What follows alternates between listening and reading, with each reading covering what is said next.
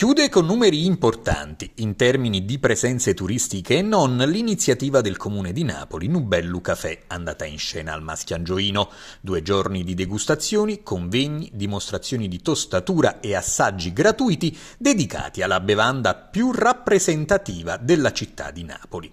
Un'occasione pensata per celebrare il caffè partenopeo, parte della cultura e della tradizione, come sottolinea l'assessore al turismo Teresa Armato. Nessuna bevanda bevanda e nessun alimento come il caffè, forse solo la pizza, è così identitario per la nostra città.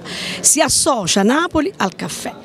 È un'importanza eh, culturale perché eh, il modo in cui sono state impostate queste due giornate è proprio quello di andare a conoscere eh, questa, questa, icona qual è il caffè dal punto di vista anche culturale. Celebrato non soltanto il caffè inteso come bevanda ma anche il suo rito rito tutto partenopeo, come spiegano il professore Marino Niola e Alfonso Pecoraro Scanio, presidente di Univerde che in questi mesi sta promuovendo presso l'UNESCO la candidatura del rito del caffè italiano. A Napoli il caffè è più di una bevanda, è il carburante della socialità, è quello che tiene insieme le persone.